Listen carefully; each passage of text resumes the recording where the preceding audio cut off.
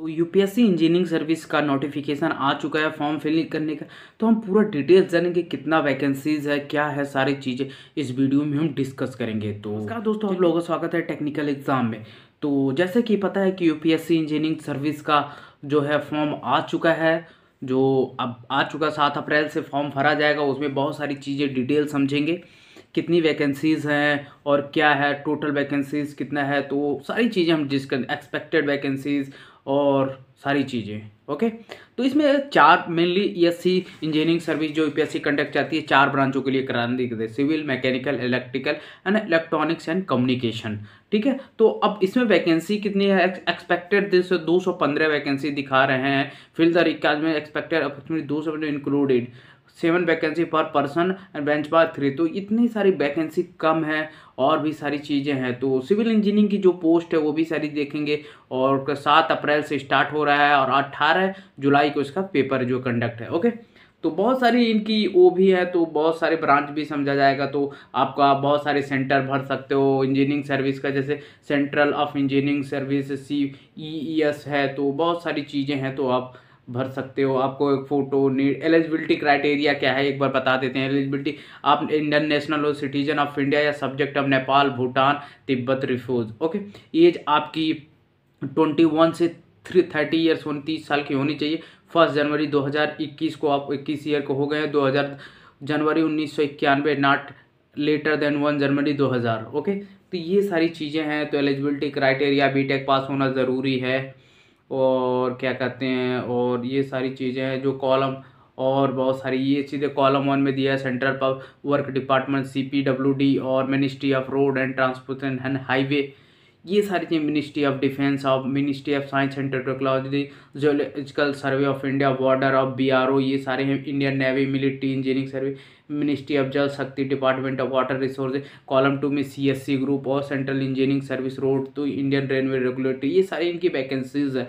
जो कह सकते हो तो age limit further relaxation three years मिलता है। Up to the five years मिलता है एस सी वालों को अप टू थ्री ईयर्स मिलता है और जन ओ वालों को। तो ये सारी चीज़ें डिटेल्स देखा है आप जो जाके आप डिटेल देख सकते हो इनके साइट पे और इनका बहुत बड़ा पीडीएफ है इकतीस पेज का है गाइज़ तो पूरा एलिजिबिलिटी क्राइटेरिया पूरा मेंशन किए हैं।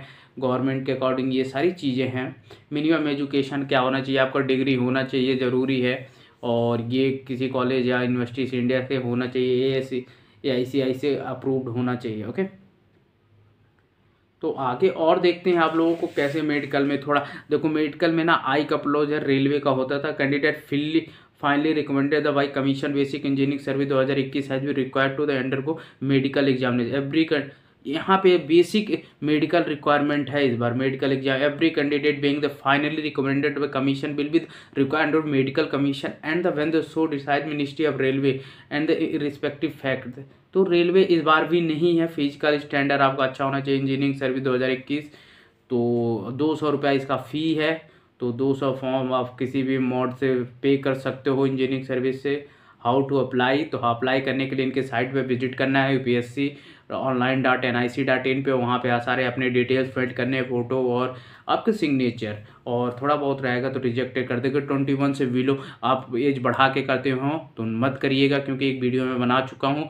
क्योंकि करते हो, अपना तो बाद में फ्यूचर में वो डिटेक्ट होता है, आपका जो भी चीज़ें हैं तो वहाँ आपको रिजेक्ट कर दिया जाएगा बैन कर दिया जाएगा, कभी पेपर यूपीएससी नहीं देने देगी। इसलिए ये मत करिएगा। तो सर्टिफिकेट ये जो सब मांगते हैं गाइस तो बहुत सारी चीज़ें हैं। तो note gazetted external date of तो गाइस ये सारी चीज़ें हैं, और भी चीज़ें होंगी तो लास्ट डेट पर। देखो, सात, सत्ताईस अप्रैल इसकी लास्ट डेट है, और सात अप्रैल से शुरू है तो देख सकते हो आप लोग फॉर्म फिल सकते हो ऑनलाइन विड्रा और विड्रा भी कर सकते हो। तो गाइस ये सारी चीज़ें हैं case in no communication receive तो और भी चीज़ें हैं नहीं तो candidate must be ensure their email ID application roll number name of year of examination registration और roll number name of candidate fulfil in the block letter ये सारी चीज़ें हैं यूपीएससी और भी कुछ है नहीं तो ये दिया है आपका सिविल इंजीनियरिंग में क्या नेम ऑफ़ सर्विस सिविल, देखिए सिविल इंजीनियरिंग में जो होता है, central engineering sir, Indian defence service, central water service central engineering service A I civil border, ये सारी चीज़ें मेरे मैकेनिकल तो ये सर्वे ऑफ़ इंडिया तो इसमें फ़ंक्शन क्लासिफिकेशन भी दिया है तो मैकेनिकल में दिया है, सेंट्रल वाटर इंजीनियरिंग सर्विस, ये सारी चीज़ें हैं, आप देख सकते हो, मैकेनिकल में बहुत सारे डिपार्ट इलेक्ट्रिकल में भी पाँच डिपार्टमेंट हैं, और सिविल में आठ हैं, और मैकेनिकल में सात डिपार्टमेंट है, गाइस। और आपके कह सकते हो? और इलेक्ट्रॉनिक्स में भी साथ है इलेक्ट्रॉनिक इंडियन नेवल है, आपके इंडियन रेडियो है और इंडियन नेवल में मेटेरियल सर्विस है इंडियन टेलीकॉम सर्विस यानी जूनियर टेलीकॉम सर्विस ये बहुत सारी चीज़ें हैं। तो ये जाके आप पढ़ सकते हो।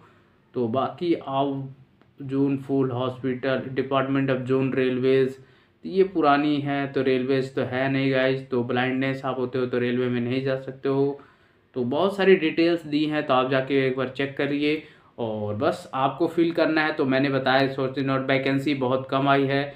दो सौ तिहत्तर वैकेंसी आई है, जो कह सकते हो, सिलेबस भी हम डिस्कस करेंगे अगले वीडियो में। इसका सिलेबस क्या है, स्टैंडर्ड सिलेबस क्या है, इस बार थोड़ा बहुत सिलेबस अच्छा से मेंशन किएगा तो सिलेबस भी डिस्कस करेंगे, ओके?